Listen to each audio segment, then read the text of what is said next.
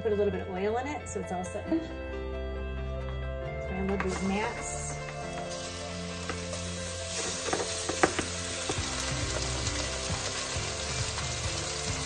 End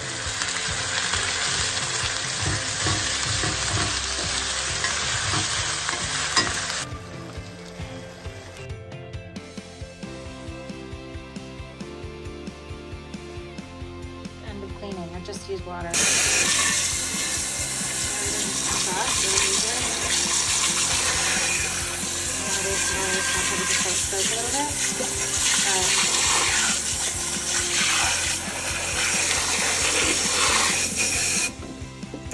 is why you put even oil to start with, because there's, see, it just rubs off.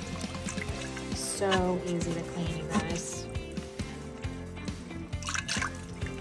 my finger.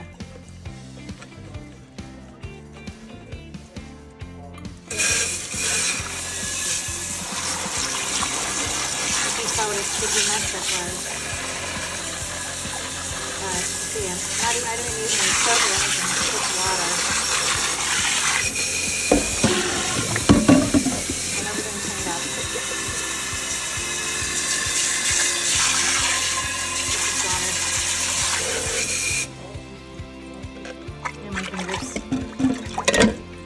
Literally put it back into